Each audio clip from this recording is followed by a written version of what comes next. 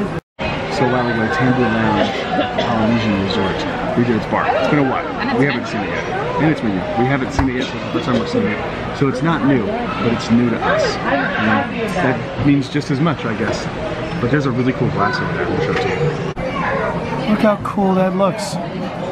It's like a classic 60s my dad's drinking after work glass. I love it.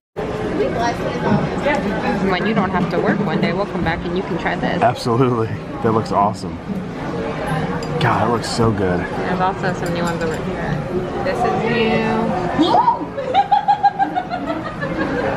It's focusing. There we go. I'm gonna try this today. Polynesian Mai Tai? It's a mm-hmm. good, good move. I literally just ordered what my seven-year-old son would order at a bar. But better question, Oh my god. why am I This is delicious. Why am I taking my son to a bar? There it is. Look how pretty. It's gorgeous. Yeah, when we reopened, we did our, we just Is there anything sadder than having to go to a bar and order a drink that doesn't have alcohol in it? I don't think so. It depresses me to no end.